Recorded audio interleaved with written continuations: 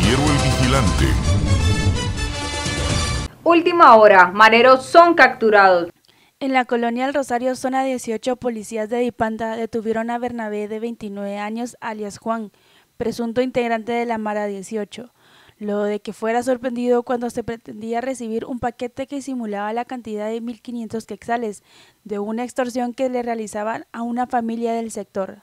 Además, se le decomisó una motoneta marca Freedom que utilizaba para movilizarse.